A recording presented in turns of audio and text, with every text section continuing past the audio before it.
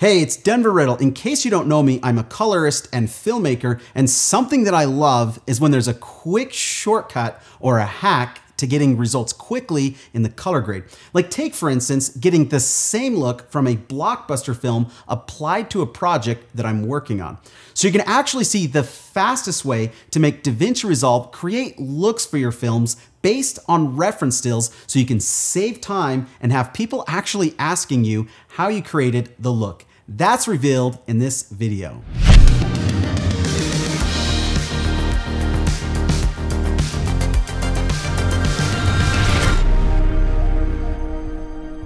All right, here we have three shots. A guy dancing, two models in the desert, and a girl doing yoga in front of a beautiful sunset. Using the primaries, color wheels, temp, tint, contrast, and saturation sliders will quickly perform a base correction to get us to a neutral starting point. This part is key, and we'll do all this in just one node.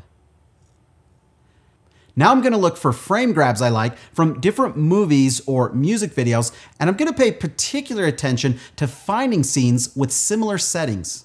Looking through the internet, I found this shot from Moonlight, this one from No Country for Old Men, and finally, this amazing sunset from Star Wars Revenge of the Sith. I'll import these frames into Resolve and position them right next to my shots. You can see these reference frames have similar settings in terms of light, location, and time of day, so this will be very important for this method to work. Let's first start with the dancer. I'll add a new node, and then right click over the thumbnail of the reference frame and choose Shot Match to this clip from the drop-down menu. And voila, it's that simple. Our shot has a very similar grade to the reference. Of course, you may still need to tweak the exposure a little bit. In this case, I'm gonna add a node previous to the look node, add a circular window, and bring up the exposure a little bit on our talent. Next, for the desert shot, using the same procedure, Right away, the shot matching feature adds the same color palette from No Country for Old Men to our shot. Again, the exposure is a little off, so I'll add a node and just correct it. Finally, for the sunset, I'll repeat the steps.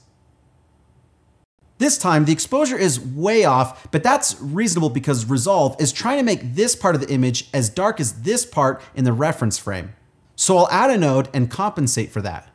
Now the beauty of this method is that you can use this node as a look for a whole scene or an entire project and then do the necessary exposure adjustments as needed on a clip by clip basis.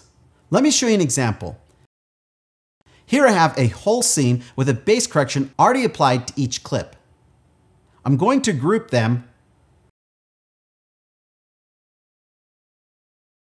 copy the look node from the desert shot, and paste it to the group node.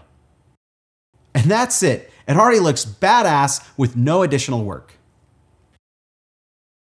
If you like what you've seen here and you thought this was helpful, give the video a like as that really helps the video.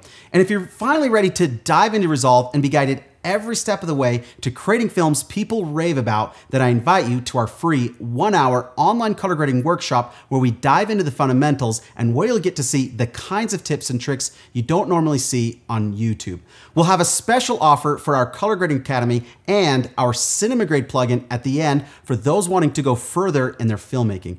For more videos like this, click the subscribe button and then the bell to be notified of our next one. I'll see you in the next video. You can make the grade.